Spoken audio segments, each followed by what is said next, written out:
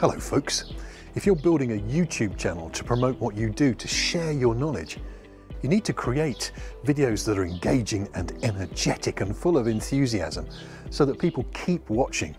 Uh, YouTube is very, very keen, obviously, to keep people on the platform. And one of the ways you can do that is change the kind of videos you use. I love presenting to camera, but a talking head all the time isn't everybody's top choice. So I've been using a wonderful program on subscription called Vidnami for a long time.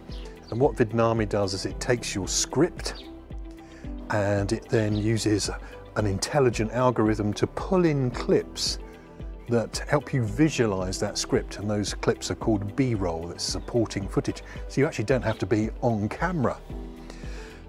And then the best thing on top of that is that it adds very, very clear, bold titles so that even if people are watching with the sound off, they can see what you're saying. They can pick up the energy of the video, they can pick up the message, and uh, you're gonna just have a winning combination there.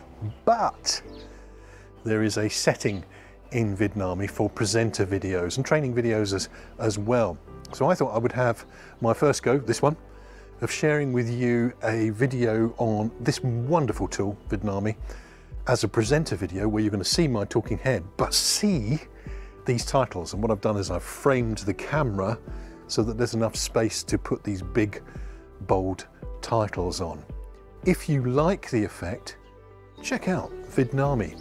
Uh, I think it's a very reasonable monthly subscription and then you can do all these explainer videos, training videos, presenter videos, social media videos and capture the imagination of your audience.